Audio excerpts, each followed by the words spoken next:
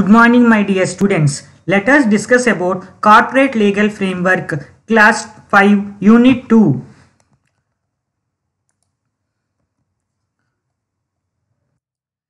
Contents of today's class is difference between sale and agreement of sale and types of goods. Here types of the goods is also called as classification of goods.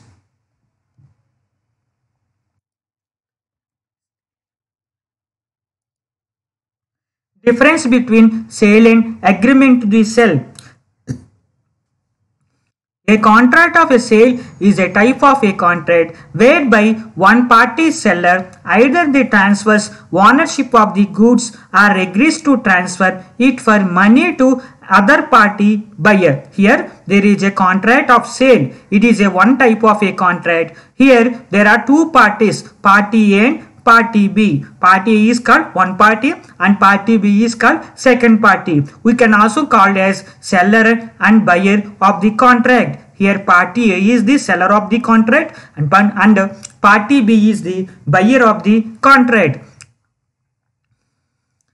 And here Party A is either they transfer the ownership of the goods or agrees to transfer it to money to other party to of buyer. Here there is a contract. Contract. There are two different parties. Party A and Party B. Party A is called as seller. Party B is called buyer. Party A is ready to sell the goods and to the Party B and Party B is having the willingness to receive the goods from Party A by receiving the money also and a contract of sale can be a sale or an agreement to the sell. A contract of sale can be a sale or an agreement to sell. Coming to next point, in a contract of sale where there is an actual sale of goods, it is known as, as a sale where there is actual sale of goods it is known as a sale.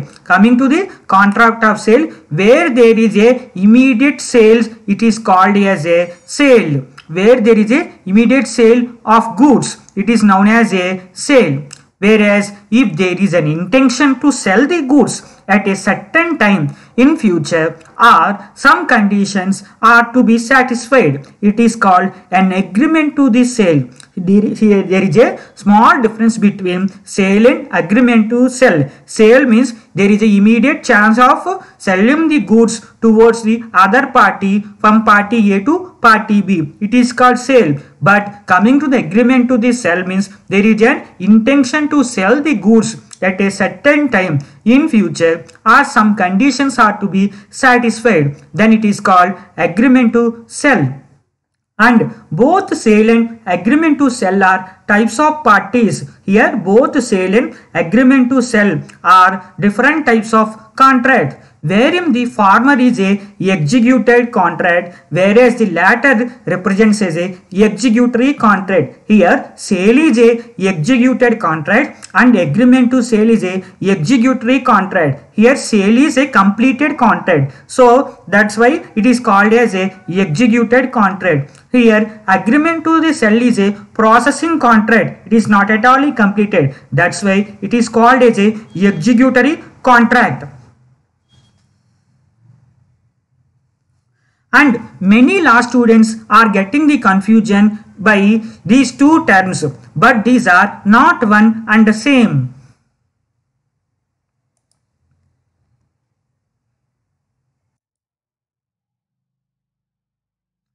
Definition of a sale. A sale is a type of a contract in which the seller transfer the ownership of goods to buyer for a money. Here a sale is a different type of a contract in which the seller transfers the ownership of goods to buyer for money consideration and here the relationship amidst the seller and buyer is of a creditor and debitor.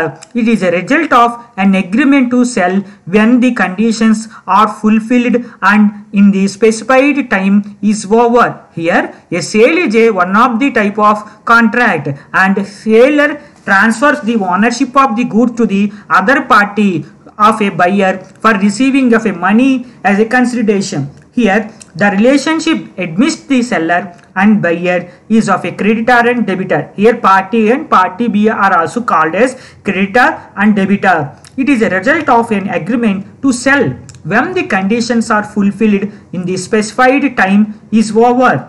And coming to the types of sales, here there are two different types of sales. One is absolute sale, second one is conditional sale. For absolute sale means there is no any type of conditions, only selling and purchasing will be happen. And coming to the condition means there is a one particular condition is there. The condition should be satisfied by the both parties of the contract. So it is called as a conditional sale. And we are having some essential conditions regarding the sale is there must be at least two parties of the contract. One is buyer another one is seller. And the subject matter of sale is goods. Here a contract should be consisting of two parties. One is one is buyer second one is seller. And the main subject matter of the sale is goods. Here goods is very important. And payment should be transferred in the country legacy currency only. Here the payment should be happen in country legacy currency only and the goods should pass from the seller to buyer. Here the goods want to pass from the party A to party B that is nothing but seller to buyer. Here all necessary conditions of a valid contract should be present like free consent, consideration, lawful object, capacity of parties etc. Here there are different conditions. These should be satisfied by all then only it is considered as a valid contract. What are those conditions means free consent, consideration, lawful object, capacity of parties and etc. If the goods are being sold and the property is transferred to the buyer but the seller is not paid, then the seller can go to court and file a suit against the buyer for damages and the price too. On the other hand, if the goods are not delivered to the buyer, then he can also sue the seller for the damages. Here, then the seller can go to the court and file and file a case here. If the goods are being sold and property is transferred to the buyer,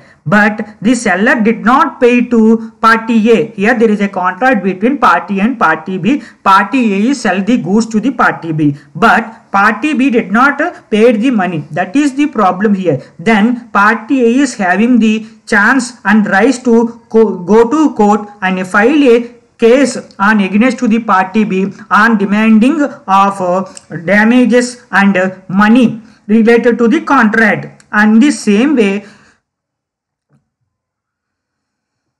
if the goods are not delivered to the buyer but the buyer has uh, given the money to the party A then buyer is also having the right to go to case and file a case against on the party A's sale seller uh, to give money for damages.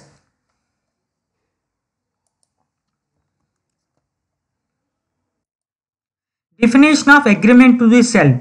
Here, an agreement to the sell is also a contract of sale of goods in which the seller agrees to transfer the goods to buyer for a price at a late date of after fulfillment of a condition. Here there is agreement to sell means it is also one type of contract of sale of goods. In here the main thing is seller agrees to transfer the goods to the buyer for a certain price amount. It is accepted by both parties. After the date only they will fulfill the condition. Here date of the condition is fixed and price also fixed and uh, where there is a willingness of both parties to conclude a sale, the buyer agrees to buy and the seller is ready to sell the goods for a monetary value. Here, there is a contract between two parties, party A and party B. Party A is willing to uh, have this contract. Party B also having willingness to have this contract and the business is also having the legality support. They are fixing the a price to the goods and it is acceptable by both parties of the contract and the goods should be delivered to the other party from party A to party B at a certain, that is called agreement to sell here monetary value is so uh, playing a very important role. The money should be given according to the country's legality money only.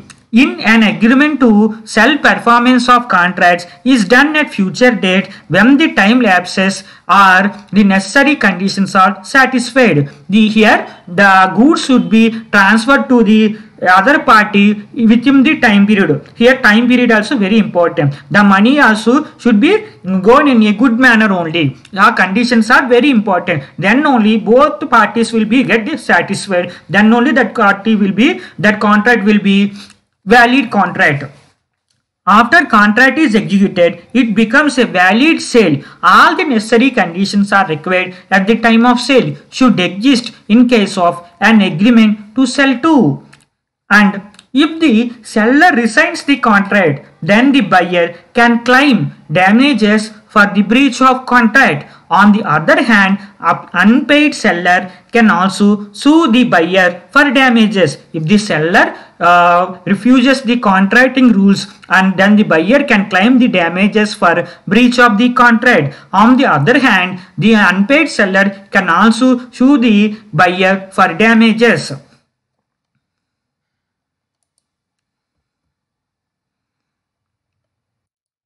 Coming to the classification of goods in business law. In business law, the term goods refers to all movable property apart from actionable claims and money. According to business law, the term goods refers to all movable property apart from actionable claims and money. There Classification of goods in business law can be tricky to understand. Here, classification of goods in the business law can be a tricky to understand. In business law, the term goods refers to all movable property apart from actionable claims and money. This includes growing the crops and grass and other things attached to the land or forming a part of land as well as all stocks and shares. Coming to the contract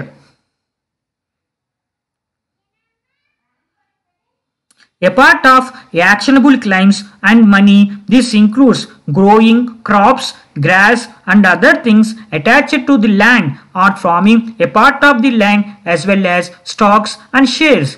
And there are three main types of goods, existing goods, future goods and contingent goods. Here goods are classified into three main categories, existing goods, future goods and contingent goods. Coming to the existing goods means existing goods are goods that are physically existed at present and belonging to the seller at the time of the contract of sale. Existing can be further divided into two categories. Here main thing is existing goods are goods that are physically existed at present and belong to the seller at a certain time of contract of sale and existing goods can be furtherly divided into two different categories. What are those?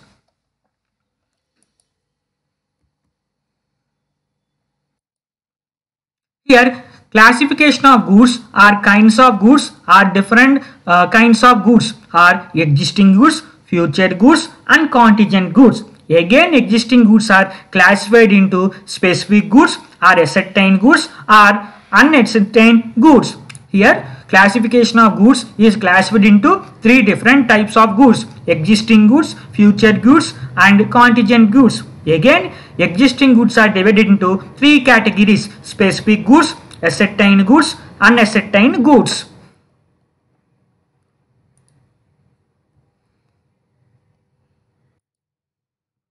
Coming to the specific goods, these are the goods that are specifically agreed upon between the seller and buyer at the time of making the contract of sale. Here these goods are specifically agreed between parties both seller and, and buyer at the time of making the contract of sale. Coming to the example, the seller may agree to sell the goods to buyer a specific item bearing a specific number. Here the uh, goods is containing a specific number or specific color or specific design.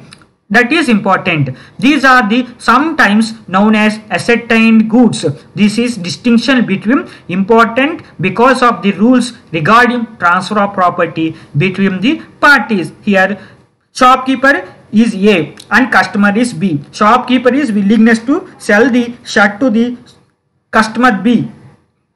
the shirt color is yellow color and there is a logo and there is a design there is a model and the size so this product is called as a specific good that is the example of a specific good. And coming to unascertained goods these are the goods that are agreed upon at the point of making contract of sale but not are specifically identified in the contract. Here the point of making contract of sale but are not specifically identified in the contract.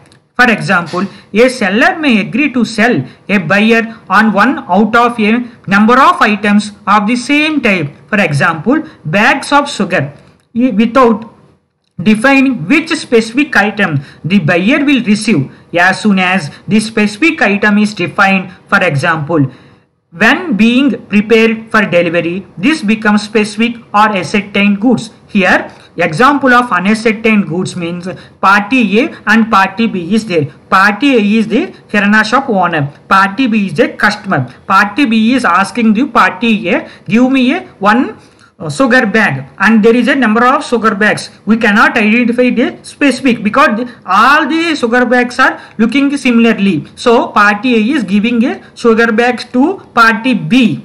That is called unascertained goods. Means there is no speciality of a good uh, by color by design by logo. That are called unascertained goods but coming to the specific goods means it will contain logo or tagline or design or uh, some features and etc that is the difference between specific good and unascertained goods.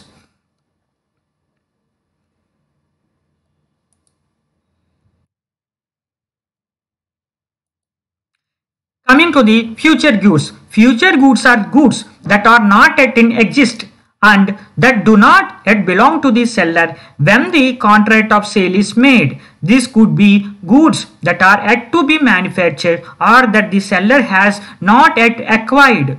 Here future goods are there. Future goods are goods that are not yet in existence. At present there is not there. In future they will come. That is called future goods and that do not yet belong to the seller that do not the future good not, uh, goods are not belong to the seller at present. When the contract of sale is made when the contract of sale is made the future goods are not belong to the seller. It will be belong in the future. This could be goods that are yet to be manufactured or that seller has not yet acquired. Here the goods want to be manufactured in the future. That's why we called as future goods.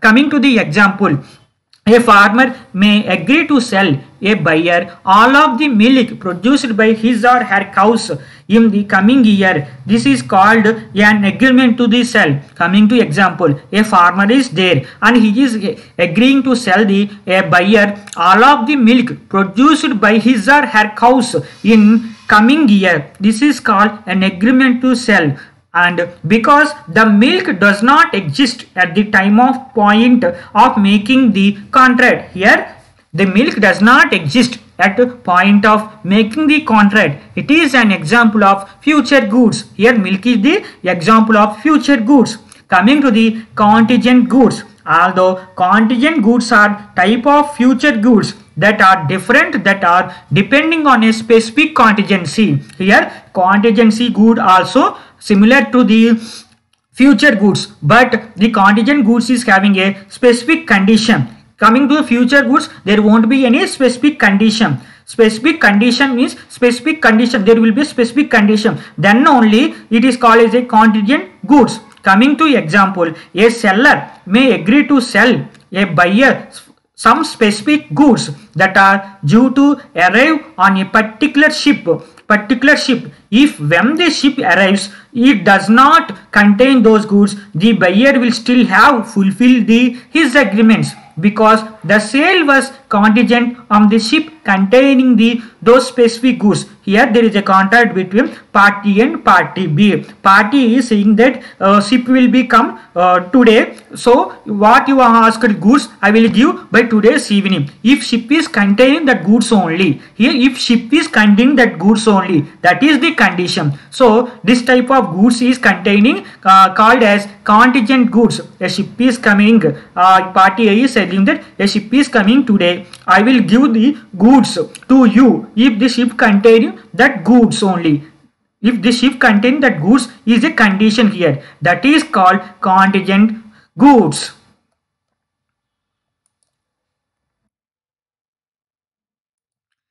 Thank you my dear students. Please subscribe my YouTube channel.